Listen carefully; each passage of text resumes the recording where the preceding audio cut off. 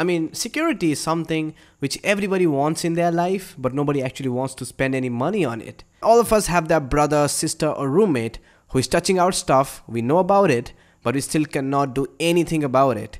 We're always worried about our stuff being taken or stolen or misplaced.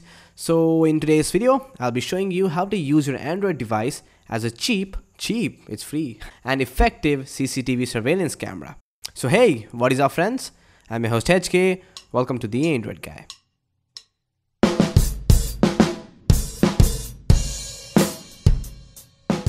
So let's get on with it. First up, head over to the Play Store and open up the search bar.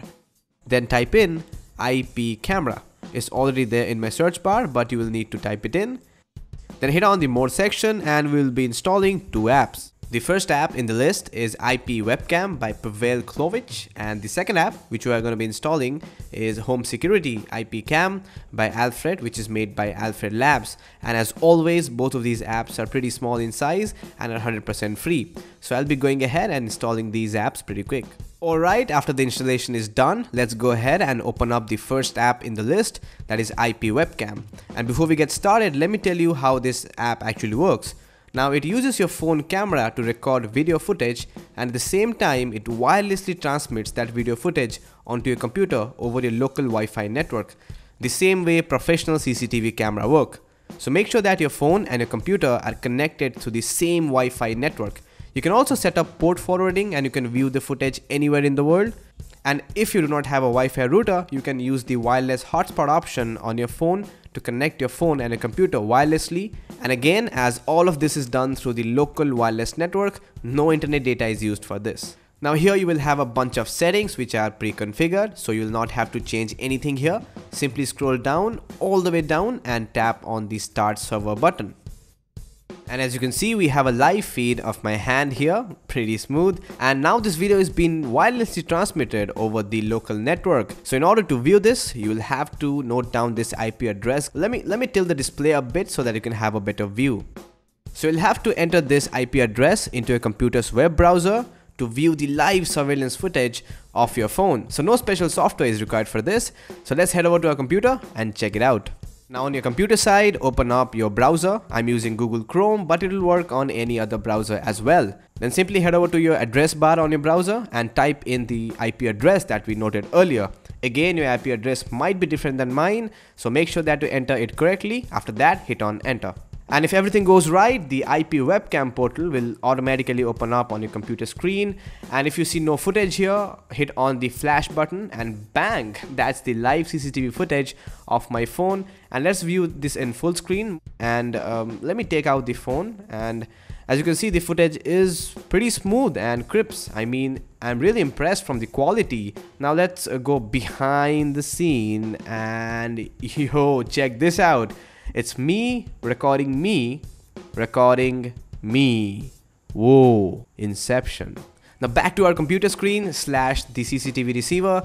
I had mounted my camera facing towards the back of my house which is about 5 rooms away from where I'm sitting right now. And in case if you're wondering, yes, I do live in a tropical jungle and yeah, that's an abandoned house at the back of my house.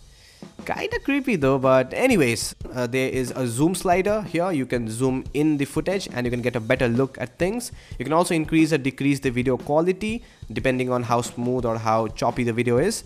There's also night mode and LED flash controls here for low light surveillance which is also pretty cool and also there are tons and tons of advanced settings like exposure composure etc etc which you can tweak from the receiver end or your computer itself without touching your phone or your camera and last but not the least, you can also record the footage, which is a great thing. And all of this is for free and will always be free. But what if you want something much simpler?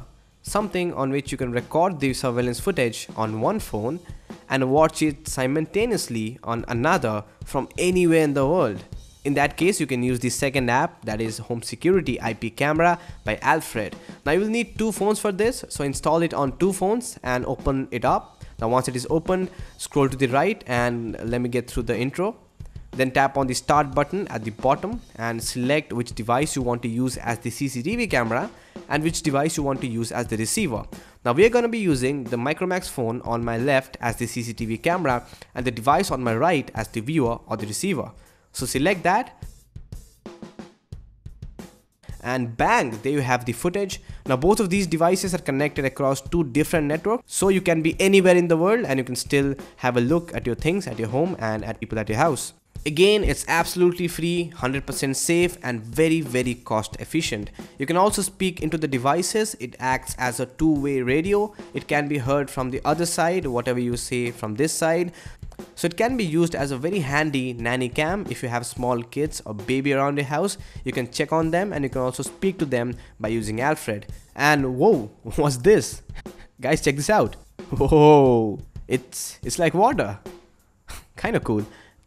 Now after everything is set, let's talk about something which is very important that is the mounting options. Now you can place your phone on a pen stand, popping out of your jeans, hanging from the wall, etc etc. But the best thing about using a phone as a CCTV camera is it's all inconspicuous. Nobody will notice that somebody is watching them which is the best thing about using a phone as a security camera. You can put your phone to sleep, you can put a password on it and it will still work. So that's the best thing about this setup.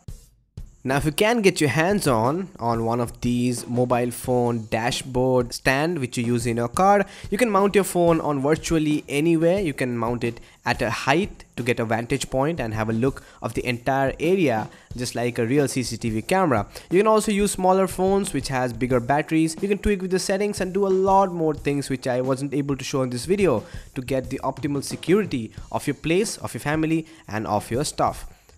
So yeah friends, that's about it. I do hope that you found this video helpful and interesting. If you did, don't forget to be the cool guy who give thumbs up to my videos and do subscribe if you haven't already to watch more interesting videos like these.